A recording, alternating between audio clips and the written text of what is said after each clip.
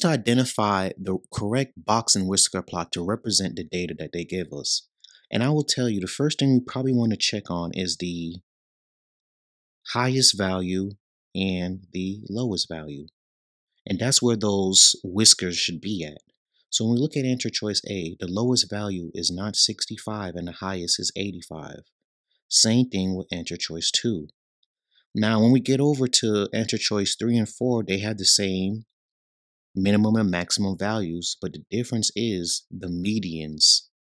So if we could determine what the median is, we could successfully answer this problem. So we're going to list our data set in order from least to greatest.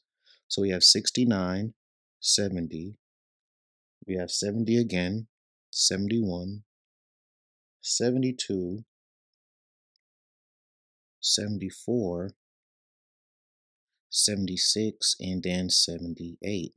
And now all we're doing is trying to determine what is the median slash middle number. So we'll add these two numbers together and then divide by 2. When we do that, we're going to get a median of 71.5. And when I look at my answer choices, it looks like answer choice 3 is going to have a median, right, that represents 71.5. And this is how you could use process of elimination to find the correct box and whisker plot based on the data that they gave us.